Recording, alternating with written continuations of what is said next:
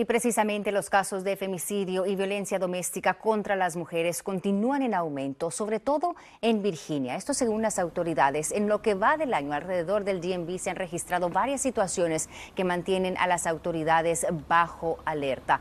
Darío López Capera está en vivo y nos cuenta más sobre esta problemática que enfrentan algunas mujeres en nuestra región. Darío.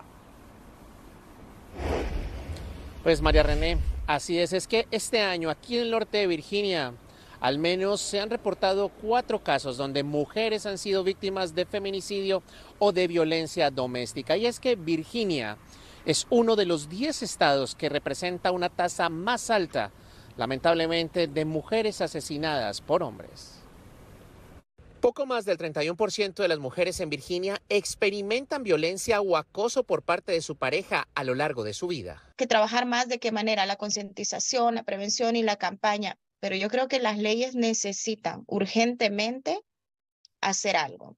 Eh, con todo respeto, pero necesitamos una reforma. De acuerdo con el Violence Policy Center, el feminicidio en Estados Unidos aumentó un 24% entre 2014 y 2020. Y la falta de un código penal solo para asesinatos relacionados a la violencia doméstica dificulta, de acuerdo con expertos, el seguimiento de los feminicidios. Según el FBI, en 2021, casi 5.000 mujeres víctimas de violencia doméstica fueron asesinadas y un tercio de ellas a manos de su pareja. Pero ¿por qué algunas víctimas no denuncian? Es el miedo. El, miedo es cuando te han ganado la autoestima, donde tú has perdido tu fuerza, tu creer en uno mismo, el amor hacia uno mismo, el valor.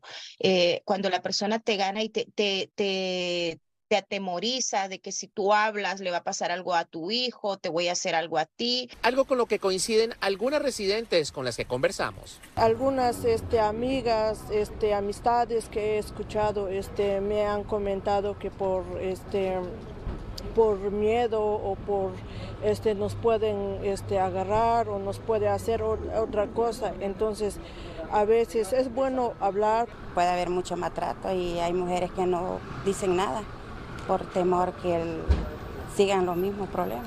¿Cómo asegura haber presenciado la fundadora de Latinx Warriors mientras compraba un café? De repente veo cuando viene un tipo, le, le, da vuelta a la chica, está caminando, le da vuelta, ella se queda sorprendida y lo que hace es apuñalarla.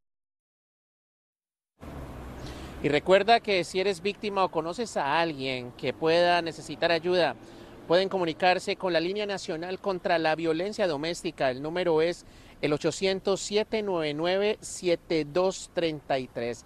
Y de acuerdo con esta activista, el 40% de las mujeres que son víctimas de violencia doméstica son inmigrantes. Y por eso es muy importante estar atento a esta señal. Si tú ves que alguien pone su dedo pulgar entre la palma de su mano y dobla sus dedos, es porque está haciendo la señal de auxilio internacional. Recuerden, si ustedes ven a alguien en la calle o tú eres víctima y vas caminando, puedes hacer esta señal e inmediatamente lo que deben hacer es contactar a las autoridades y pedir esa ayuda.